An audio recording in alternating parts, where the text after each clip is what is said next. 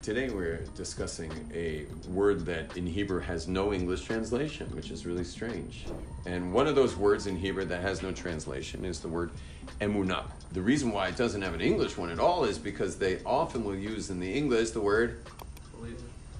believe, excellent, the word believe. And belief is belief is basically our hopeful thinking. What is belief? Like someone who believes in something is basically it's wishful thinking.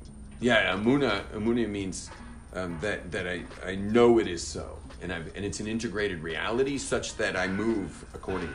Uh, and that's why, for example, a, a craftsman is called an uman because he really knows how to make glass. Or, and uh, someone who makes pottery, like they can do it with their eyes closed. Their hands just move in the direction of what they know so well.